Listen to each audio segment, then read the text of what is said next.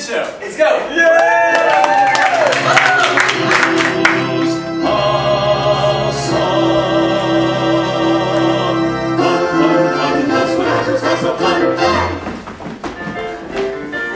Wow, this is a great run. Yeah, exercise is really good for you. Yes, it does get the blood pumping quickly. it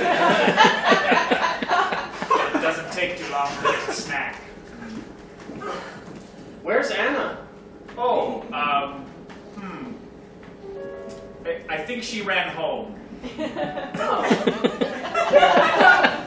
Where's Doc Wacky Whacker? Come on, Bobby. You know. Oh yeah, the buttons. Gotta flip the switches and regular slides to let Dr. Wacky Whacker know need to clean up or brush out a friend, or she might be doing yoga and have to unbend. So just squeeze a button and toggle a knob when you need a Dr. Wacky Whacker Wacky job. Uh, well, look who's here! What can I do for you today? Well, if you've got a minute. I need a family to love me. Well, we could make a couple of bodies out of discarded body parts, and then we could perform an unholy pseudoscientific ritual and bring the parts to life! That's a great idea.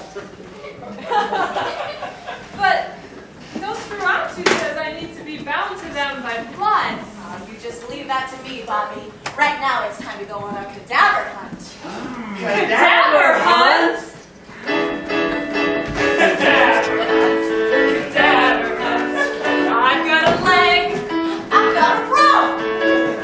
a head, and here's a dome stuff. Stitch it all together in one big lump.